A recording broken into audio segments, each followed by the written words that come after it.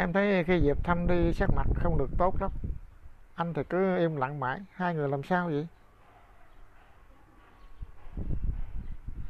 Không phải có mâu thuẫn đó chứ. Sao có thể? Tôi và cậu ấy thì có mâu thuẫn gì được. Tình cảm như bọn tôi vẫn luôn tốt đẹp. Cũng lúc Em thấy cậu ấy vô cùng nhã nhặn. Tính cách chắc chắn rất dễ chịu. Hơn nữa, em cũng nhìn ra được hướng hình thật sự rất thích cậu ấy. Nói không chừng sau này cậu ấy là, lại là em rể của anh.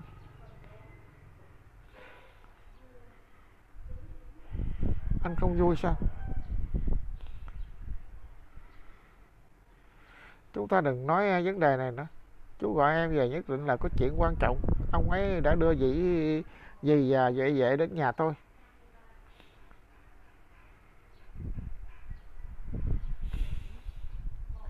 Anh nghĩ nhiều rồi. Ông ấy sợ hai mẹ con họ nhìn thấy em sẽ không vui. Ông ấy vẫn muốn là một người chồng, một người cha tốt. Nếu ông ấy không quan tâm cậu, ông ấy sẽ không gọi cậu đến. Hai người là cha con. Chút nữa nói chuyện chú ý chút nha.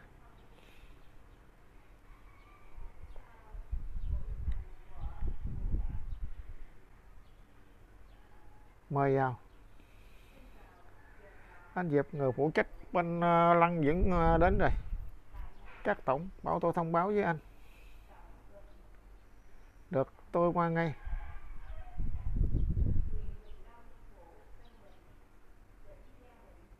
Để tôi giới thiệu một chút vị này là Diệp Thâm.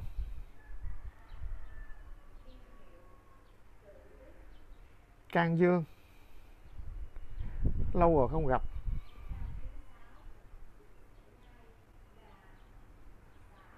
Hai người quen nhau. Đúng vậy, chúng tôi là bạn cấp 3. Trùng hợp quá. Chúng tôi đã lâu không gặp rồi, không ngờ lại có thể gặp nhau ở đây. Diệp Thâm, phụ trách hạng mục này ư.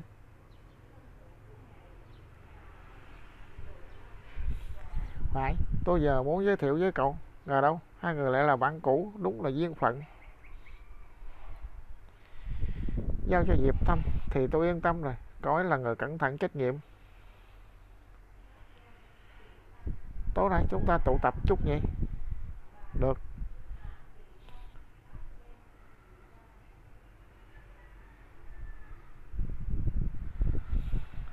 Em đã nói với bố em, không cần nhà cũng không cần tiền.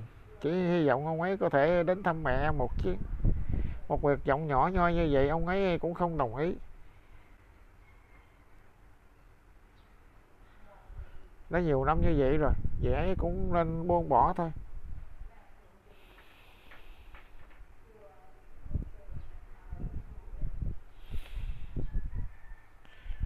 Tôi nói như vậy có chút không hợp lý nhưng nếu đã như vậy rồi thì cậu cũng cố gắng thay gì ấy dành một chút đền bù về mặt vật chất sức khỏe bãi không được tốt có nhiều việc cần đến tiền dân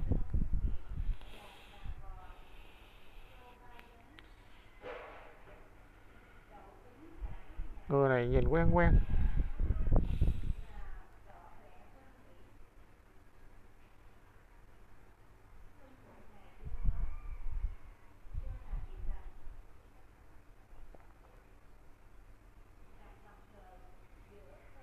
ừ, này Không tệ, cậu đã từng đến đây chưa?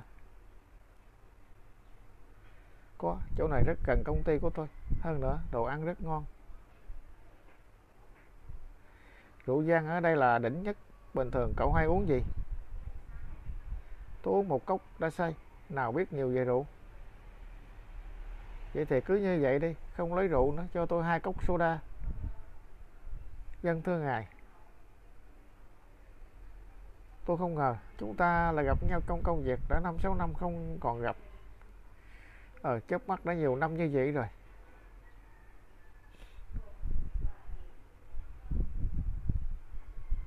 Hồi trước vì bận đi công tác nên tôi không tham dự họp lớp. Lúc đó rất phiền muộn, không gặp được bạn học. Đoán rằng sau này cũng không lại gặp ừ, lại cậu nữa. Thật không ngờ, mới có mấy ngày cậu đã trở thành đối tác của tôi. Chúng ta là bạn cũ cậu sẽ không làm khó tôi đâu. Mấy năm con ngọc thật không ngờ cậu còn học được cách nói đùa đó. Năng động hơn nhiều với lúc còn đi học.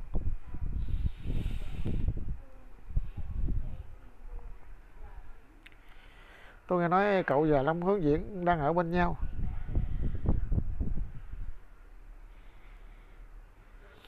Nhiều năm trôi qua, tình cảm của các cậu vẫn tốt đẹp như vậy, tôi cũng rất mừng.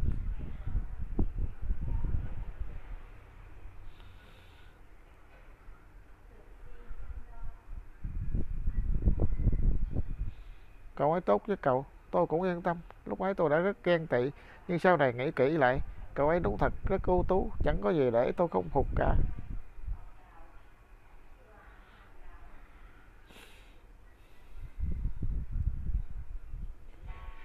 Có trách thì trách lúc đó tôi cứ làm bộ làm tịch.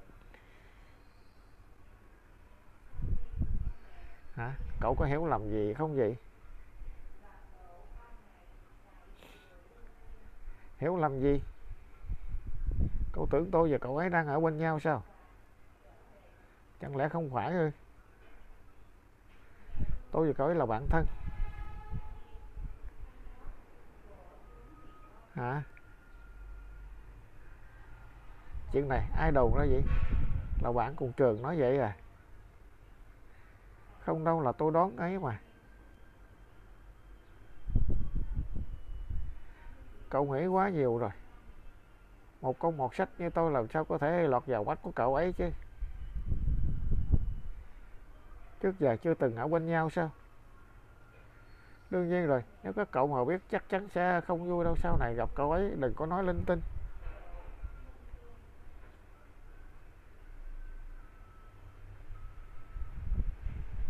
Rốt cuộc mình đã làm gì vậy trời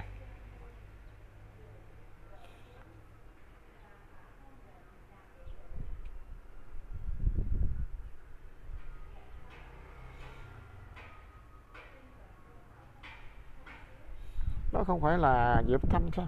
Trùng hợp thật.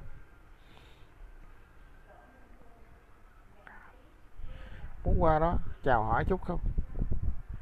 Quá ra là cậu ta. Nhớ ra đâu phương. Hướng diện hướng diện khua tay. Hả? Anh sao thế? Không có gì, chắc cậu ấy đang hoàn bạc công việc. Chúng ta đừng làm phiền họ. Anh và cậu ấy đúng là không có cãi nhau đó chứ. Sao em cảm thấy cả ngày hôm nay anh cứ lạ lạ? Không có chuyện gì thật mà. Cậu đừng nghĩ linh tinh.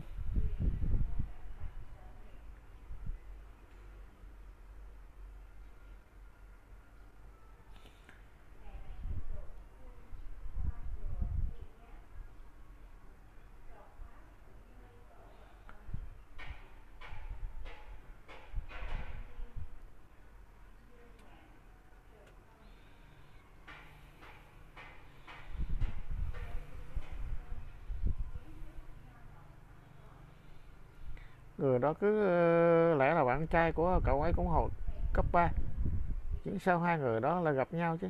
Chưa nghe thấy cậu ấy nhắc qua.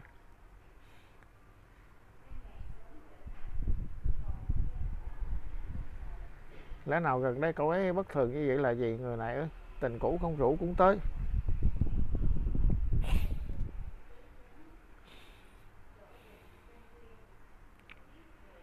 Nghĩ kỹ lại thì ngày đó cậu ấy thật sự rất thích người kia.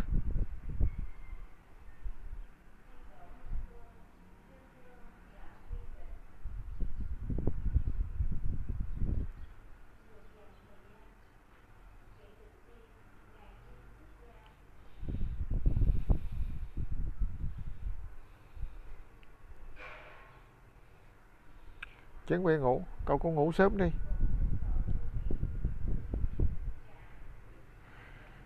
lại là câu này, dạo này, mỗi tối cậu đều nhắn tin như vậy, khó chịu với tôi vậy cơ à. Tối nay, tôi đã nhìn thấy cậu đi ăn với người khác. Em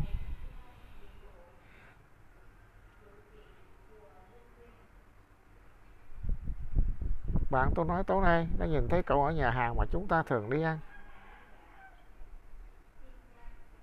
Thăm dò trước đã. Nếu không có gì đặc biệt thì cậu ấy sẽ nói thật. Ờ đi ăn với đối tác. Thì ăn với đối tác cậu không phải là nói dối nữa, rõ ràng. Người đó là cậu không cần. Mình đang cuốn gì chứ? Sáng sớm.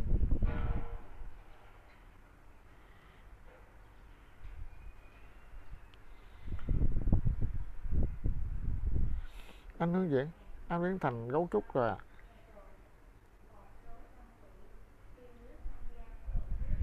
Tối qua anh không ngủ sao? Mất ngủ? Hay là thức đêm làm việc? Không sao, anh ổn mà.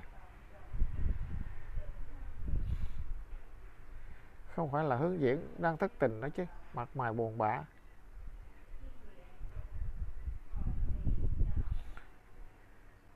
Gì cứ nói đùa. Anh trai cháu khó tính như vậy. Nhìn là chưa biết có người yêu rồi, có mù với yêu anh ấy.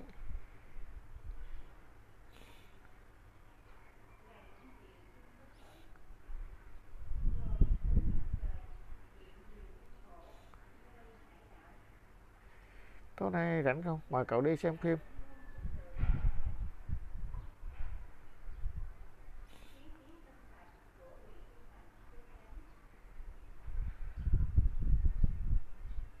Tôi vẫn còn nhớ hồi đi học cậu rất thích xem phim. Mắt Pen cậu vẫn còn nhớ tôi thích gì sao? Sao phải khoa trương như vậy? Hồi còn đi học tôi cực kỳ trẻ con. Tôi cũng tưởng cậu ghét tôi lắm ha? Trong uh, tôi nhỏ nhen như vậy là tôi lấy dạ tiểu nhân mà đo lòng quân tử rồi. Vì vậy muốn mời cậu đi xem phim để chuộc tội cậu sẽ đi chứ. Làm sao tôi dám từ chối? Cậu là đối tác cậu có quyền. Ok tối gặp.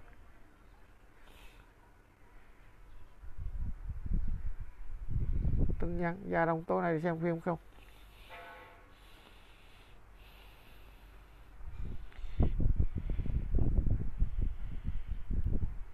Sao tự nhiên lại muốn đi xem phim? Gần đây có phim gì hay thế? Đi xem Avenger đi. Mãi tới mới giành được hai vé Inmat vốn muốn đi cùng anh trai, nhưng anh ấy có việc nên cho tớ leo cây. Nửa đêm nửa hôm như thế, thì bận gì chứ?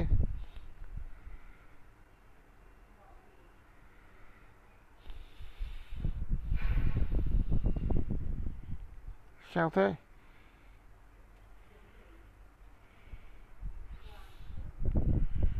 Không có gì. Em ấy hôm nay anh đẹp trai lạ thường. Có lẽ là lại đi uống rượu với mấy người bạn độc thân ấy mà.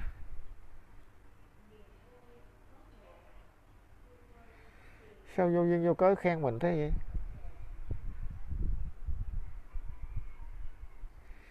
Con mệt thế. Dẫn đi làm sao? Không có việc gì quan trọng thì ngủ một chút đi. Trưa nay con có cuộc họp. Tối nay anh có rảnh không? Làm gì? Hôm nay Avengers công chiếu em muốn hẹn anh Diệp Thâm đi cùng.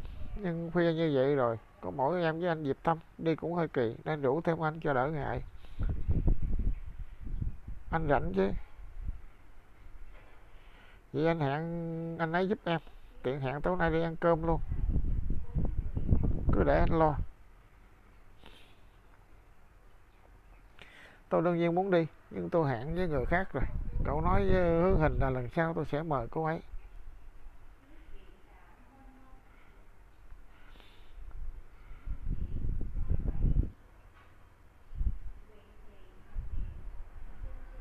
Cậu cố ý trốn tránh. Tới nên à, mới nói vậy ơi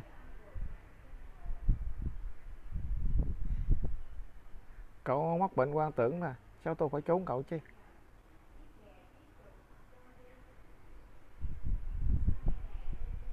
Vậy cậu hẹn ai?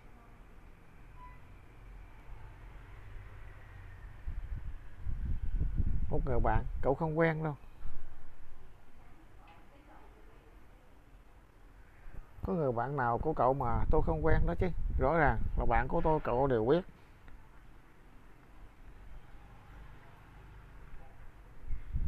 Cậu sao vậy? Đồng nghiệp của tôi nhiều như vậy, làm sao có thể giới thiệu hết với cậu được? Không nói nữa, tôi phải đi eh, làm này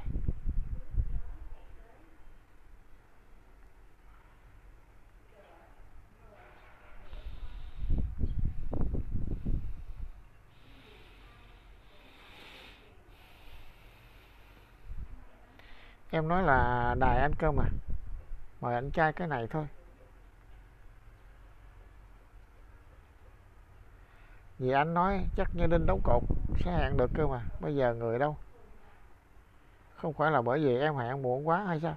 Vé này khó mua như thế, muốn hẹn đã hẹn trước một tuần rồi, có ai với em đến ngày rồi mới hẹn?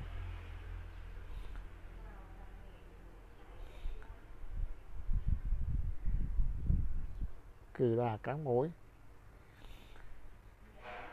Anh hướng gì? Em chỉ có hai vé thôi. Không sao, anh mua được một vé nữa rồi. Đột nhiên, cảm thấy có cảm giác không lành.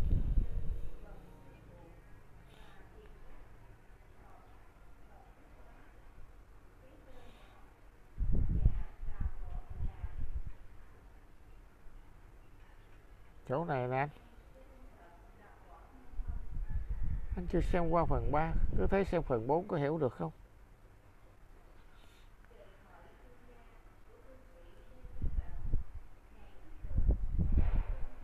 Anh Việt thăm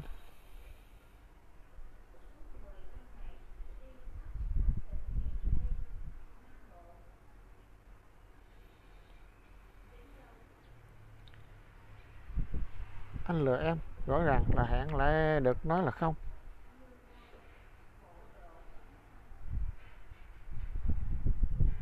Sao lại là cậu ta? Trùng hợp kia anh hạng bạn đi xem phim, không ngờ xem cùng phòng với mọi người. Hello. Chào anh. Chào cậu.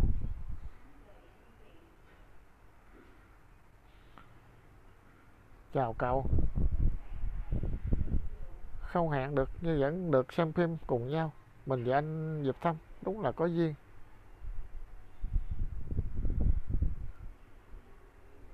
Anh Diệp Thâm xem phim xong, chúng ta cùng đi ăn đêm nha. Được. Phòng kế bên.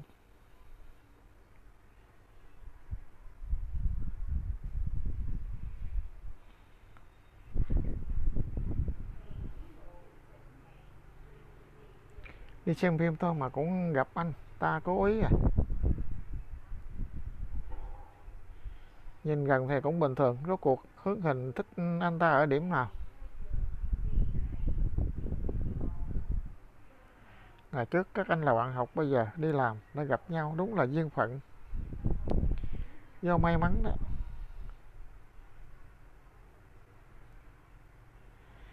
Việc may mắn cứ đến dùng dọc không ngờ đi xem phim cũng có thể gặp được người quen. Tại sao là cảm thấy như đang cố ý vậy? Là ảo giác hay sao? Sao hôm nay anh ít vậy, gặp lại bạn cũ không thấy vui à? Hai người họ không phải là bạn học. Lớp 10 anh và Trang Dân học cùng nhau lên lớp 12 mới học cùng anh của em. Quá ra là như vậy mặc dù không học cùng lớp, nhưng anh của cô là hot boy của trường, trong trường ai cũng biết tới cậu ấy. Các bạn nữ rất thích cậu ấy.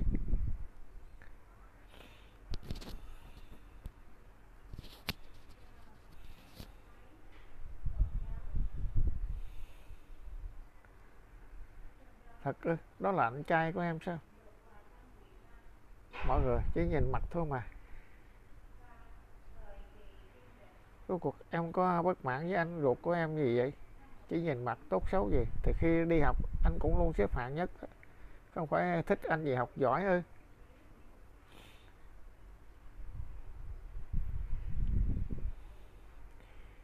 Em cảm thấy không thể nào.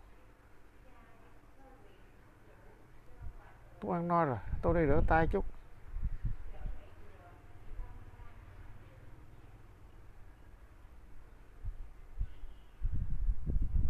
Lúc đi học, anh Việt Thâm đã từng có bạn gái chưa?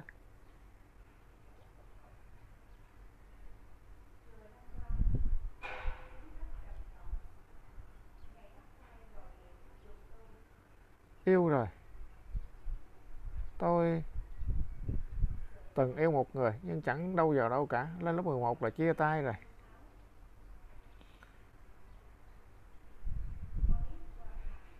Quá ra không phải là ảo giác. Người này thật sự ghét mình. Sao trước giờ anh không nói với em? Chia tay bao nhiêu năm rồi, Có gì đáng nói đâu. Nhưng Quá ra cô bé này cũng thích dịp thăm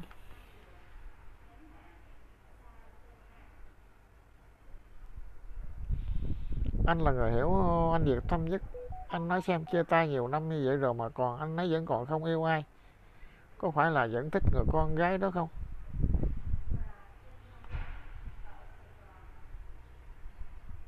Cũng có lý, sao mình không nghĩ tới ta?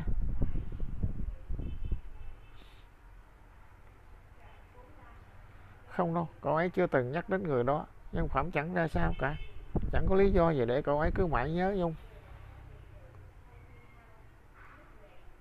Thật ơi không chắc. Những chuyện này thường chỉ để trong lòng thôi. Hơn nữa chắc hẳn đó là tình đầu của anh Dục Thâm. Từ góc độ của con trai mà nói, người ta sẽ luôn nhớ mối tình đầu mãi.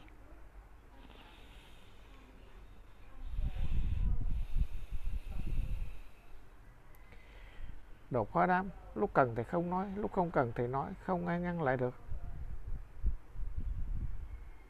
Con trai các cậu đều si tình thế à nhưng đã nhiều năm trôi qua rồi dù sao với mình thì là như vậy. Hả? Cậu yêu rồi á? Không có. Tớ nói nếu tớ thích ai thì sẽ luôn thích cô ấy, tuyệt đối không thay đổi.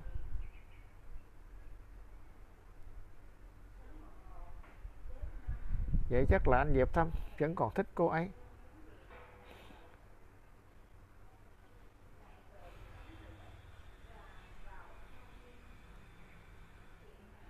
Hướng hình sao thế? Ai chọc giận cô ấy rồi? Là anh đó.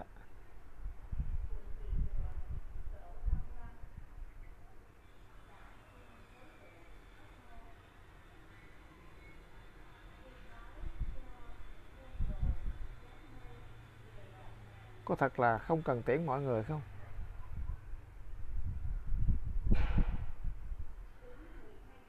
Nhà của em cách chỗ này hai con đường. Anh Trang Dương và anh lái xe, chú ý an toàn.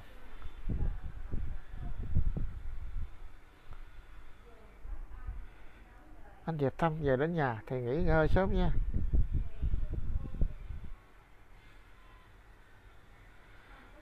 Muộn lắm rồi đó, mọi người cũng chú ý an toàn nha.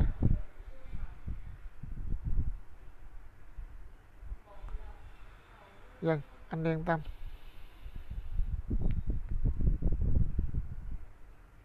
Hai.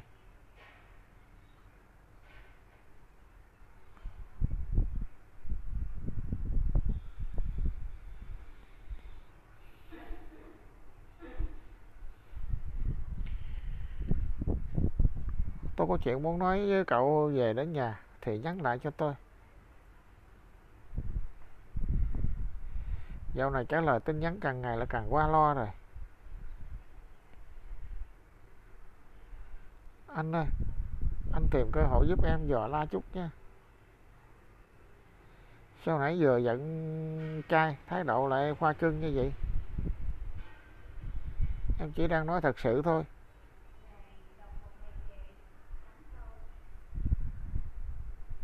Về tới nhà chưa? Về ta, vừa về tới nhà, có chuyện gì cứ nói đi.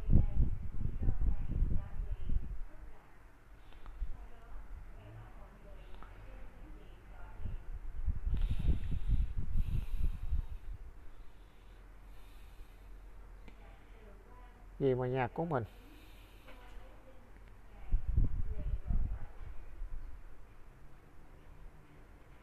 Hướng diễn. Có chuyện gì sao? Chỉ có mình cậu à?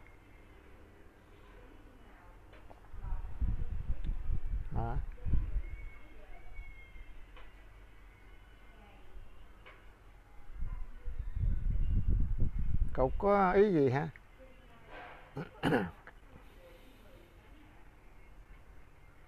Không, tôi chỉ đang lo lắng cho cậu thôi. Đau ngủ như vậy rồi tôi chỉ có hai chúng ta là bất bình thường. Không phải ai cũng giống chúng ta. Rốt cuộc cậu xem thường cậu ấy hay là xem thường tôi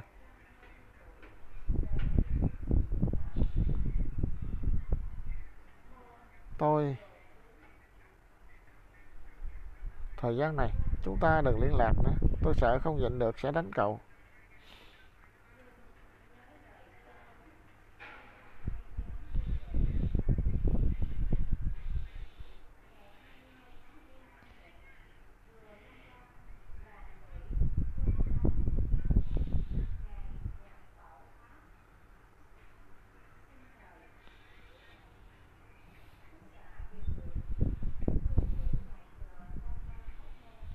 Đến mình còn xem thường bản thân, chẳng trách mình lại bị cậu ấy khinh thường. Có lẽ trong mắt cậu ấy, mình là loại người dễ dãi.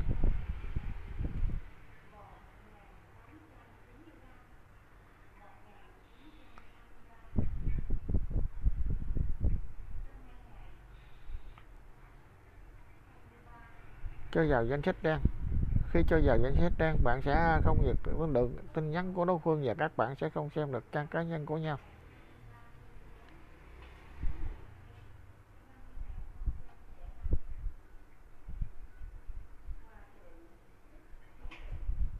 Xin lỗi cậu. Là tôi quá lo cho cậu nên có lời nói hơi lỗ mạng, sự thật không có ý gì đâu. Chúng ta gặp mặt nói chuyện được không? Bây giờ tôi sẽ đến nhà cậu.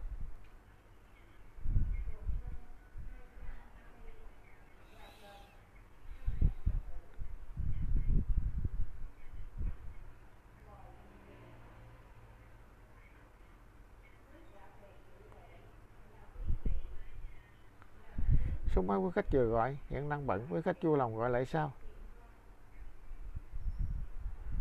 Điện thoại cũng bị chặn rồi.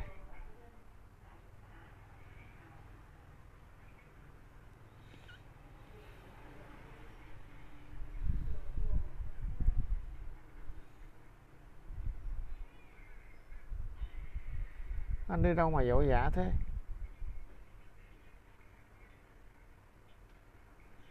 Anh ra ngoài có chút chuyện, em ngủ sớm đi nha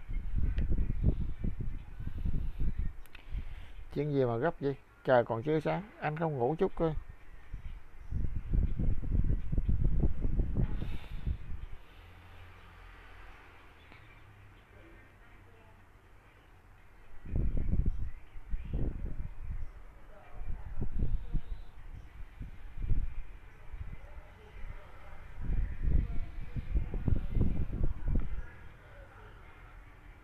Quấn bị à, nghi, đi ngủ ở đây.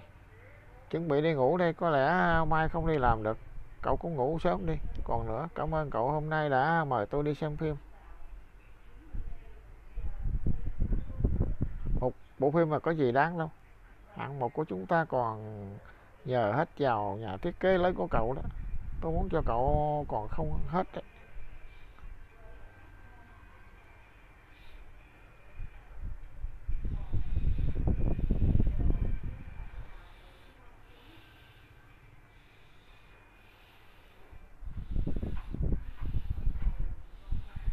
Ta nói chuyện chút đi. Cậu về đi, tạm thời nhà tôi không quan nghênh cậu. Cậu chặn facebook thì thôi đi, đến cả điện thoại cũng chặn. Tôi chỉ có thể tự mình tới tìm cậu. Chúng ta chẳng có gì để nói cả. Cậu bình tĩnh đi. Tôi còn chưa đủ bình tĩnh à tôi chưa đánh cậu đã là khách khí lắm rồi. Tôi thật sự không cố ý mà. Do tôi lo lắng cho cậu nên mới lỡ miệng. Là do cậu không cố ý, là cậu đã nói một cách vô thức. Vì vậy tôi nghĩ chúng ta nên chẳng còn gì để nói nữa ra trong lòng cậu tôi là loại người như thế. Vì vậy cậu mới nói ra những lời như vậy. Tôi thật sự không cố ý mà. Cậu là người bạn thân nhất của tôi rất rất quan trọng với tôi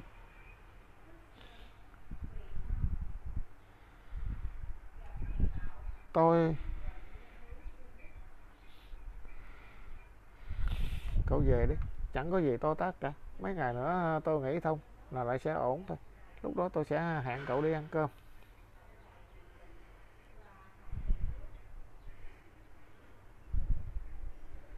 Tôi tôi đã làm tổn thương cậu đúng không?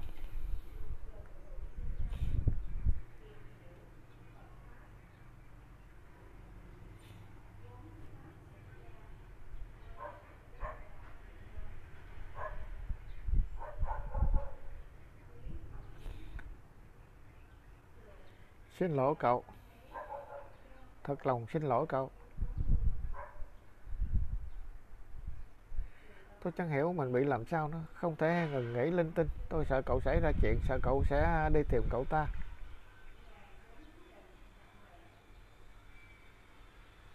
Cậu về đi. Cậu đừng như vậy. Tôi chỉ là đang lo lắng cho cậu thôi. Rốt cuộc bây giờ, cậu đang lấy thân phận gì nói mấy lời đó với tôi? Tôi là người độc thân, Tôi có thể về tự mình quyết định sẽ kết bạn với ai.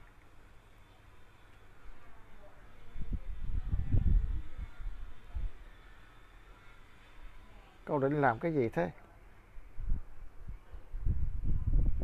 Cậu đã quên lúc trước Cậu ta đã làm cậu bị tổn thương như thế nào rồi sao? Cậu muốn nói cái gì? Hồi đi học, người mở lời trước là cậu ta, người nói chia tay cũng là cậu ta, người đau lòng là chỉ có mình cậu. Nên cậu cảnh giác một chút thì không nên đi ăn và xem phim cùng cậu ta cậu ta chẳng phải là loại người tốt đẹp gì.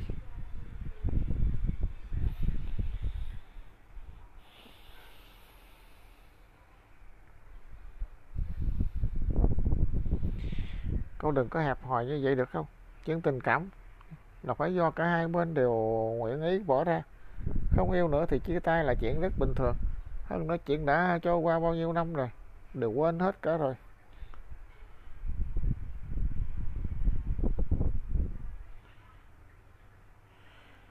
Tôi là đàn ông, ánh mắt cậu ta nhìn cậu tôi có thể thấy được. Nếu cậu ta không để có ý đồ với cậu, tôi đã chẳng lo lắng tới thế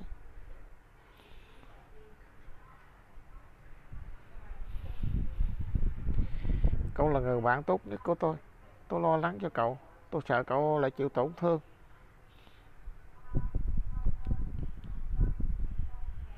Sao cậu lại cười?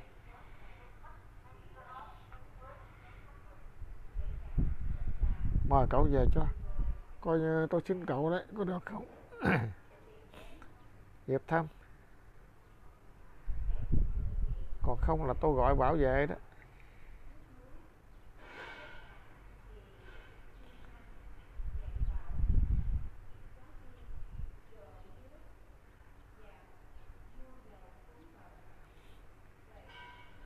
không ai có thể làm tổn thương tôi.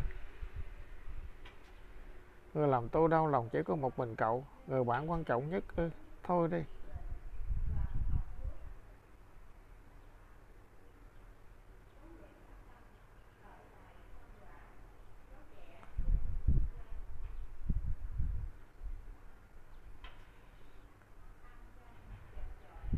Năm giờ. Cậu hâm à giờ này gọi điện à? Cậu có số của à, chắc đông, đúng chứ? Gửi cho tôi đi. Cậu thì có à, nhưng cậu tìm anh ta làm gì? Cậu hỏi dịp thăm là được. Chút nữa kể cho cậu. Cậu cứ gửi số cho anh ta cho tôi đi.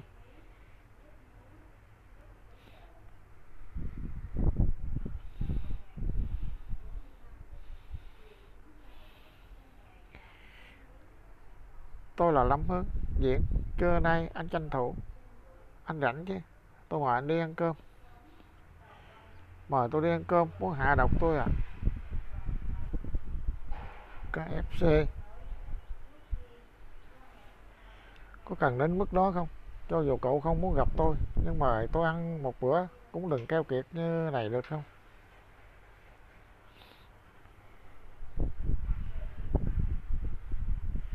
Nếu cậu không thiện ý muốn mời thì đổ lại, tôi mời cậu cũng được.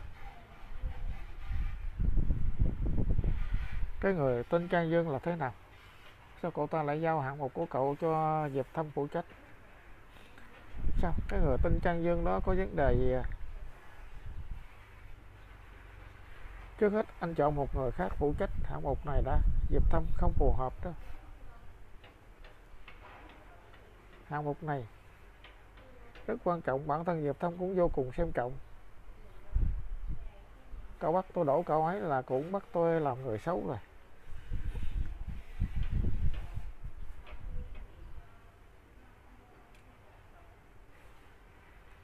Dù sao thì anh cũng bị từ chối rồi, đóng vai phản diện cũng chẳng mất mát gì. Tôi có thể đền bù cho anh rất bất cứ thứ gì, anh có thể thực hiện bất cứ dự án nào anh muốn tự nhiên bị đâm cho một nhát. Dù sao đây nữa, thì cậu cũng phải cho một cái lý do chính đáng chứ. Cho cậu hạng mục, cậu giúp tôi đổi người, khó như vậy cái tôi mà nói thì rất khó, hơn nữa chúng ta lại chẳng thân thiết gì mấy.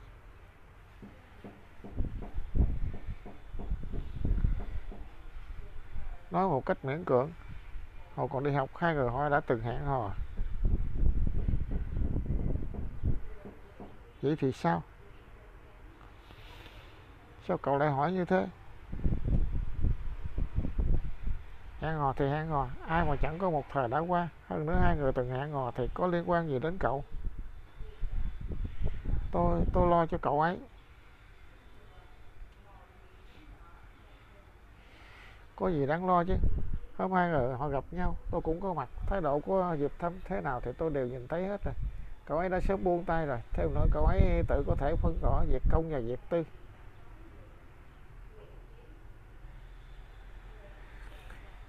Nếu đối phương lợi dụng việc công để làm việc riêng thì sao? Hôm qua, nửa đêm rồi mà cũng vẫn còn hiện Diệp Thâm đi xem phim.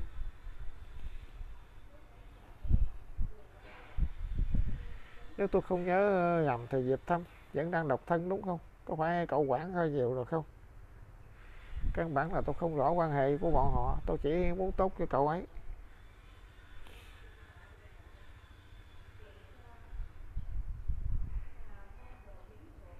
Anh muốn tốt cho cậu ấy thì nên tôn trọng cậu ấy.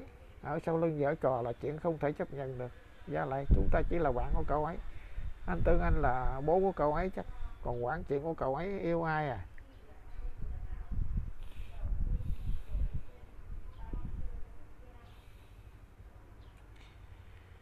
Không phải là anh cũng thích cậu ấy sao? Sao bây giờ một chút lo lắng cũng không có thể? Dù sao thì tao cũng bị từ chối rồi. Có dậu hay không cũng thế thôi. Đáng đời, bảo sao diệp thông không thích anh?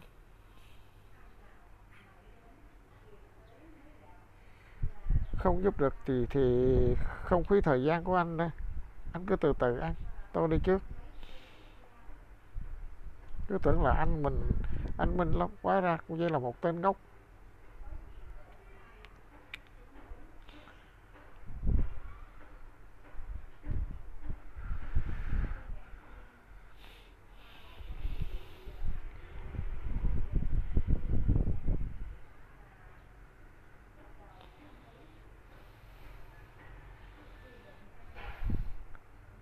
Alo.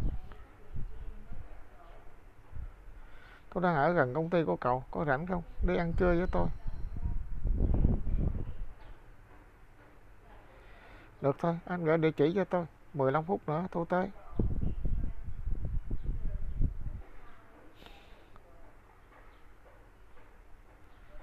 Gần đây, chắc Lâm bận công việc vậy nên không có thời gian ở bên cậu. Tối nay thử hẹn cậu ấy ăn cơm đi. Không phải anh ấy không rảnh, chỉ là không có thời gian để gặp tôi.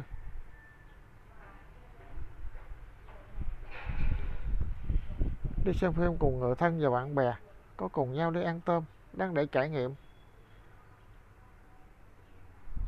Cơ ve, tôi sẽ ở lại đây một thời gian.